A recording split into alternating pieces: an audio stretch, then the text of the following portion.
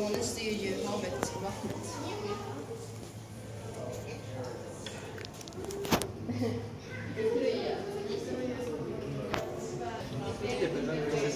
Ja.